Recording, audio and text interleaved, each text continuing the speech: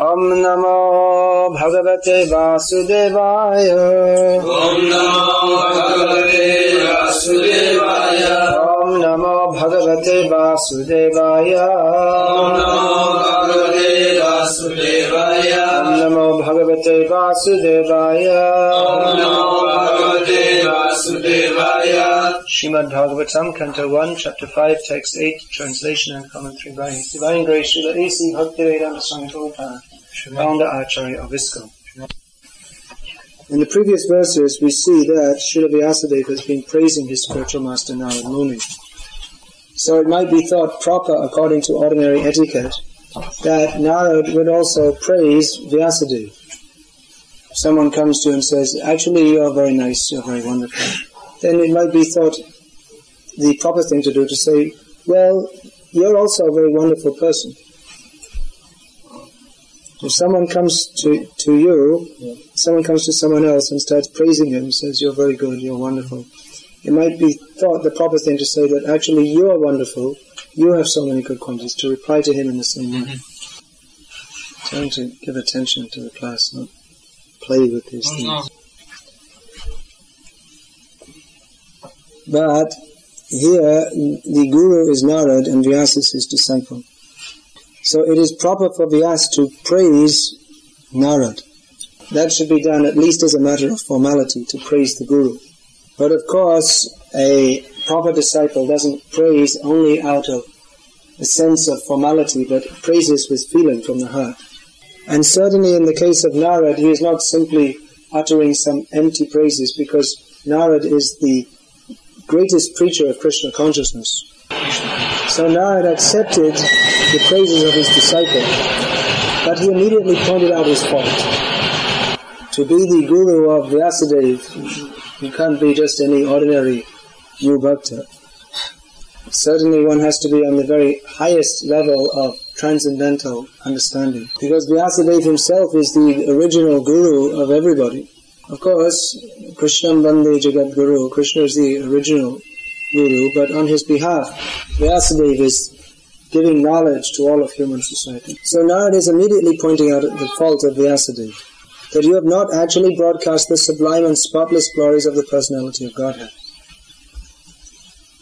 Now, we may say that actually Krishna Lila is also mentioned in other parts of the Vedic literature. You will find in different places in the Puranas there are descriptions of Krishna's Lila and descriptions of the Leelas of other avatars of the Lord also. But here now it is explained as Bhavat uh, Bhavat Bhavatanudita Prayam Yasho Bhagavato Malam that you've you've mentioned, he admits, yes, you have mentioned the glories of the Lord. But Anudita Prayam, but almost not praised. It's not actually clearly praising the glories of the Lord. In other words, just like you'll find in some of the Puranas, there's descriptions of Krishna's Leela, and then you'll find a whole big description of Brahma and Ganesh and like this. The Vishnu Purana is the, uh, after the Bhagavad Purana, the very important Purana for understanding Lord Vishnu. But even after that, uh, even there, the extent is not extensively described the glories of Krishna's lila. So Narad is chastising Vyasadeva. This is your fault, correct it. Guru means he knows how to direct the disciple, how to revive his dormant Krishna consciousness. Even the most neophyte devotee, or what to speak of devotees, even a great demon, is capable of being a Paramahamsa. So the Guru has transcendental intelligence how to guide the disciple to come to that point. Of course, it depends on the disciple being willing to follow the Guru. Simply to praise the Guru, you are very good, you are very wonderful, but not follow his instructions, is meaningless. Therefore, we find that generally the best disciples, they come in for the most chastisement. Because one who is very weak and not very surrendered, then if he's chastised by the Guru, then he may just go away altogether his relationship with the Guru is more or less based on sentiment, not proper philosophical understanding. Therefore, the Guru deals with him on the platform that sentiment only. He tries to teach philosophy, but if someone is not ready to take that up, then somehow or other he may be engaged in service. He tries to engage him somehow or other. But factually, one who has a, uh, whose approach is mostly sentiment, he doesn't can never really understand what it means to be a disciple and what is the position of the guru. Therefore, we we find people saying that yes, I knew he was my guru when he smiled at me. This is not the way to understand guru. What is the way to understand? What he looks like, how long his shikha is, how many rasgullas he can eat at one sitting. What is the way to understand the guru? Who can say? Who can say? uh, on the benefit of his uh, instructions, what he was saying. By hearing, by hearing. In spiritual life, seeing means by hearing. So one who can hear nicely from the Guru, uh, he can quickly make advancement. Because Vyas is immediately ready to hear Narad, he doesn't waste any time, he immediately comes to the point. Vyas, for so many days, he'd been thinking, what's the problem? What's wrong? What's, what's, what am I doing wrong? I wrote all the Vedas, that's my job. I'm Vyas, I'm supposed to do that. I, d- I did it selflessly for the good of human society. The problem which he couldn't find himself, Narad immediately pointed out. This is the reason that you are depressed. Now do something about it. Do what? Write the Srimad Bhagavatam. Narad saw the potential in his disciple. We saw, see also Srila Prabhupada, he went among the hippies. He didn't have Vyasa as his disciple, he had hippies as disciples but he made them into representatives of Vyasadeva because he saw underneath the long hair and the smelly socks, here is a devotee of Krishna.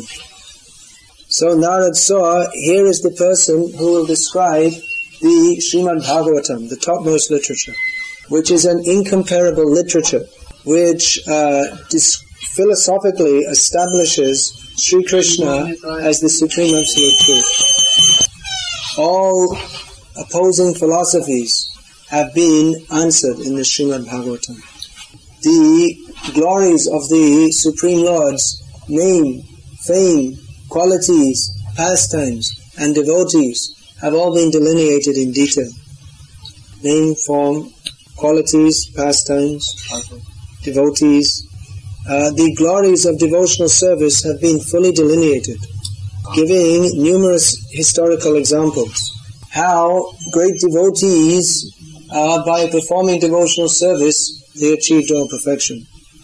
Uh, Bhagavatam is also recognized as a great book of poetry because the uh, Sanskrit composition is extraordinarily beautiful.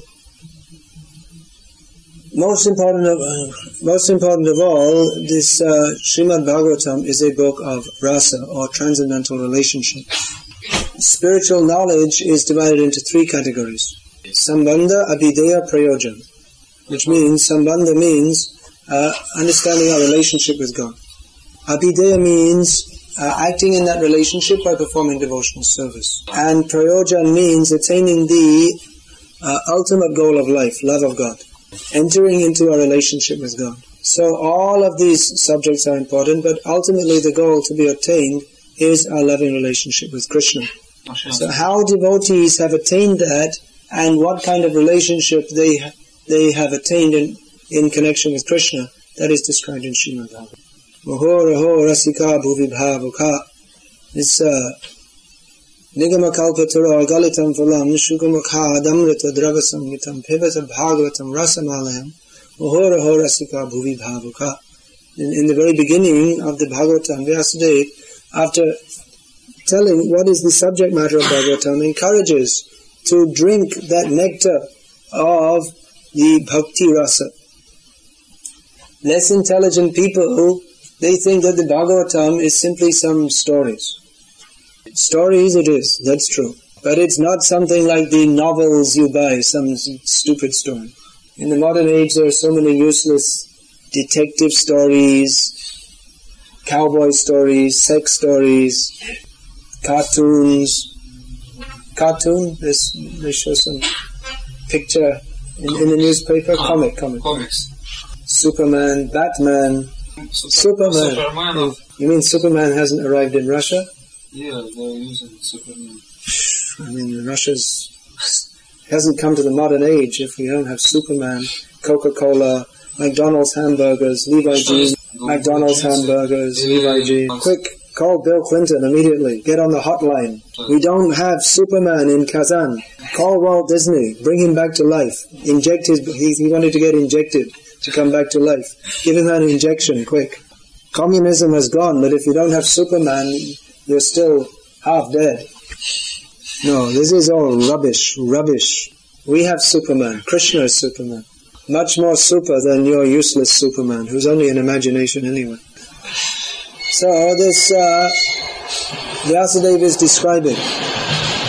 This may appear just to be some stories, but in every story there is uh, so much exchange of loving affairs between the Lord and His devotees. And as one develops his feelings for and understanding for Krishna, then by reading the stories of Bhagavatam, he can appreciate this more and more. As uh, when reading these stories in Bhagavatam, we can try to enter into the spirit.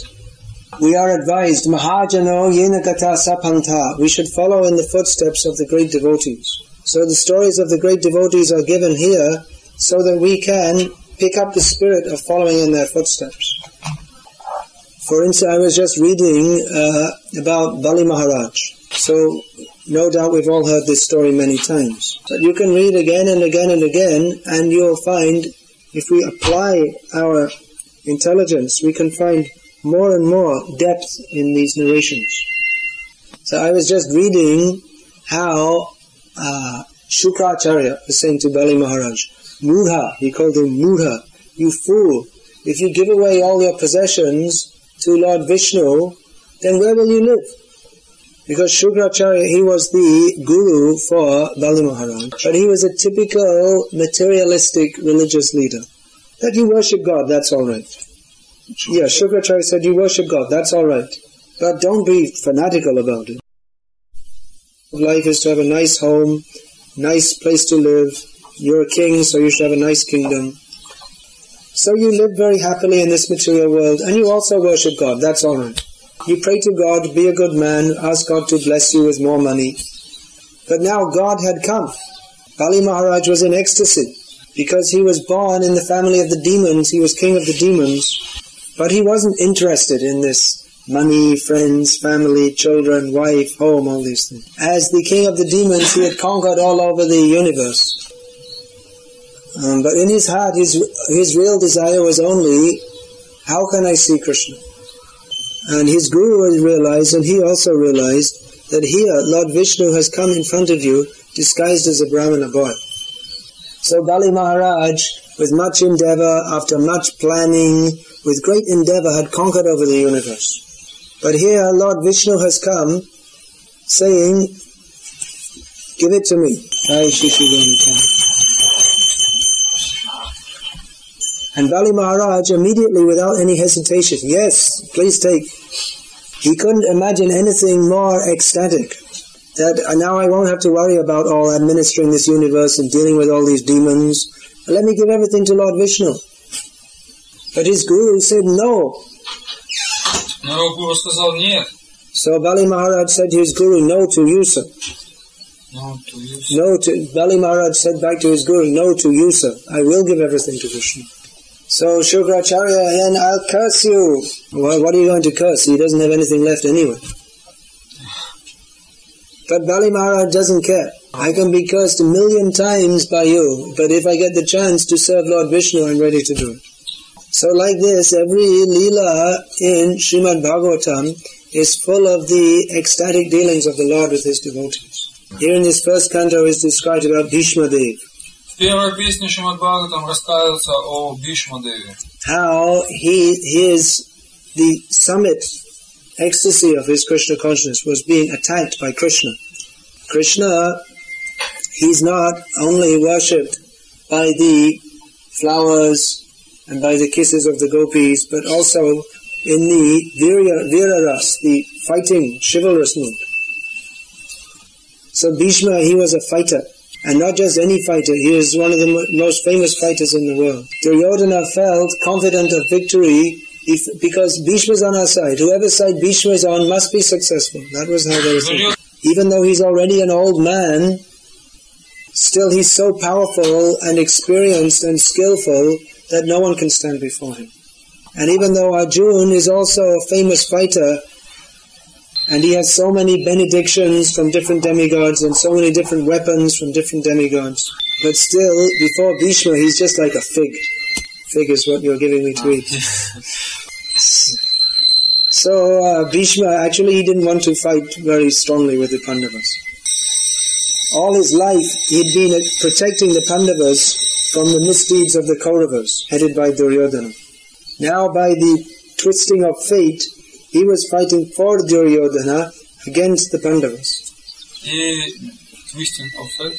Mm, that, that's an English expression. That, I don't know how to. means fate is twists and turns. Uh-huh. The destiny. Uh-huh. It's unusual. So he was fighting Arjun and fighting with great anger.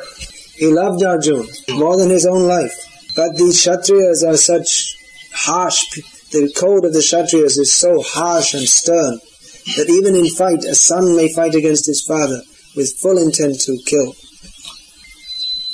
So he was fighting and Arjun was pulling out his weapons, but gradually, one by one, they're all being defeated. Arjun was gradually getting overpowered, and he was losing control. There was no hope. Arjun must be must be killed now. So Krishna, he is the chariot driver of of Arjun. He could not tolerate any, anymore. So he immediately jumped from the chariot and picking up some broken chariot wheel, he came to attack Bhishma. And that was all Bhishma wanted to see. His whole life he had been meditating on Krishna in his four-armed form as the fighter in the fighting mood. So when he had this vision of Krishna running towards him, he was completely satisfied. Krishna with the looking with tremendous anger. When God is angry there is no comparison. So Bhishma was happy to see Krishna in this form. He stood there, yes, let Krishna come and kill me. But actually Krishna, he was already defeated. No, Krishna. Krishna was defeated. So, because Bhishma had taken the vow that either I will kill Arjuna or Krishna will have to break his promise. Krishna had promised, I will not fight, I will not pick up any weapon in this battle. So Bhishma knew that I can defeat Arjuna. But he knew I will never be able to defeat Arjuna because Krishna will never allow it. So he said, either I will defeat Arjuna or Krishna will break his promise. He'll have to fight to protect him.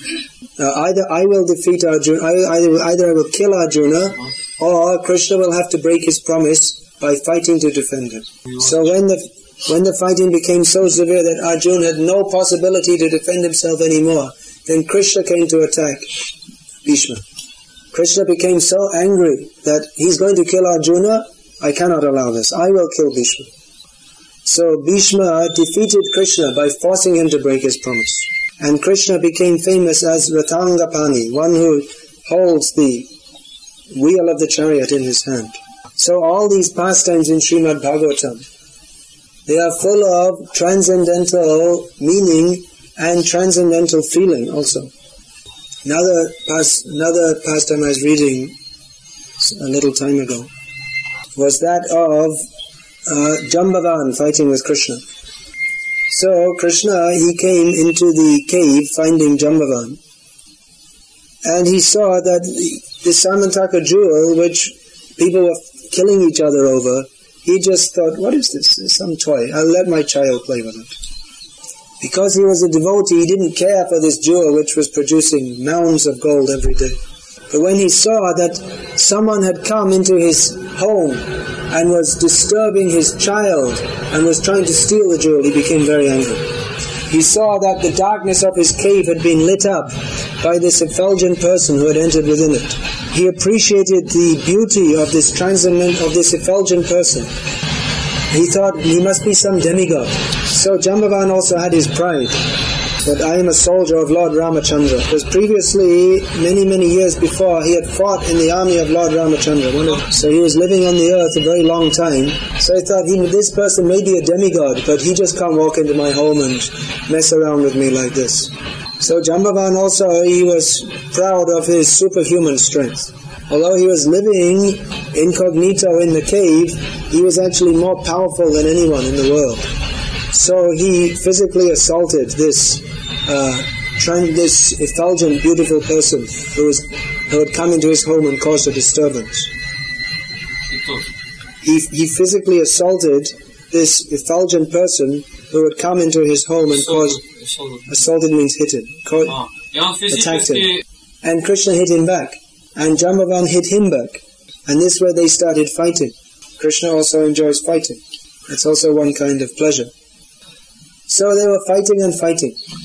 And Jambavan appreciated that this person, he's not only beautiful and effulgent, he's also powerful. He's strong. Uh, so Jambavan was also very satisfied because he also liked to fight. Fighting, fighting men like to fight. So they were fighting on and on for 28 days and nights non-stop. And gradually Jambavan, all his body became exhausted. As he was going on, fighting and fighting, he was thinking, what's going on? I didn't imagine that anyone could fight with me like this. What kind of person is this who is fighting with me? Who is there in the world who can fight with me like this? He thought through all the people in the world and he came to the conclusion that the only person who can fight with me on this level is Lord Ramachandra, my worshipful Lord. Hmm. So he was, he realized I'm fighting and fighting. Who am I fighting with? This is that very person who I've been meditating on all these thousands and millions of years. That very person, the whole monkey army stood behind. That person who we fought for against the Rakshasas headed by Ravana.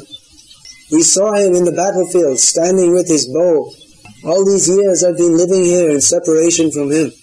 Now he has come again to my home. It must be him. Who else could it be but him? But I was so foolish I could not even recognize him. He wanted to take something from me. I can give my whole life, I can conquer the whole world and give it to him. And all he wanted was some insignificant jewel that produces 40 mounds of gold a day. What a mistake I've made. He fell down at the lotus feet of Lord Ramachandra, who is here as Lord Krishna.